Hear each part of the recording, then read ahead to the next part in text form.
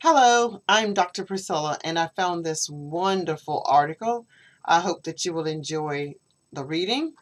It's regarding nutrition and oral health, how diet impacts dental and general health. Everyone appreciates a great smile. After all, that's what we show the world. It affects our self esteem and ability to socialize. But those pearly whites are not just for show, and many of us underestimate the impact teeth have on our overall health and nutrition, and vice versa.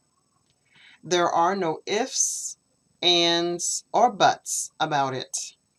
Oral health is a huge part of our general health, and a well balanced, nutritionally adequate diet is essential for oral and general health maintenance throughout life.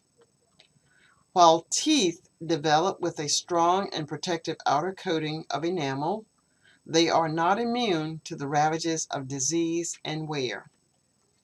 Tooth decay is one of the most common diseases known to man and is responsible for untold pain, suffering, and tooth loss.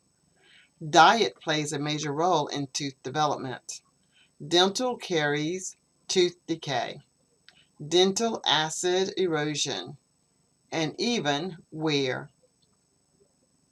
What's more scientific evidence overwhelmingly proves that the same sugars that cause dental decay also contribute to obesity and metabolic syndrome, the leading cause of death in the U.S. and first world countries. Oral changes as we age. The impact of diet on oral health begins in the womb, and a pregnant woman's nutrition choices impact tooth development. However, the child's own diet immediately following eruption of the teeth is much more important.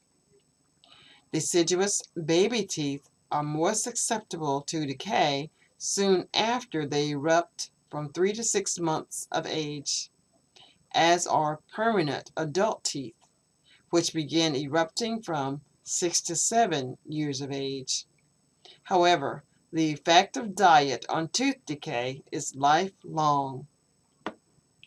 Older age groups are also at increased risk.